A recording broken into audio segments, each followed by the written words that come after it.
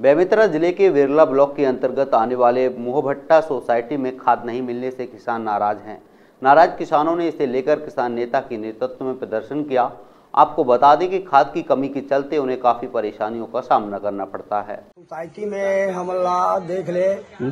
चार किलोमीटर दूर से हमन आथन बुढ़ेरा से। और आथन तक कथे कि आज नहीं मिला है, काल नहीं मिला है, ये जमा करके हम चल देते सब सोसाइटियों में किसान परेशान है, किसानों को बराबर खाद नहीं मिल पा रहा है, यूरिया नहीं मिल पा रहा है डीएपी नहीं मिल पा रहा है राखड़ नहीं मिल पा रहा है। इसलिए आज हम लोग मोहभट्टा सोसाइटी के दौरे में आए सब किसान बता रहे हैं कि आज पिछले एक महीने, डेढ़ महीने चक्कर लगा रहे हैं, कभी किसी बहाने को लेकर, कभी किसी बहाने को लेकर किसानों को सही समय में खाद उपलब्ध नहीं हो पा रही।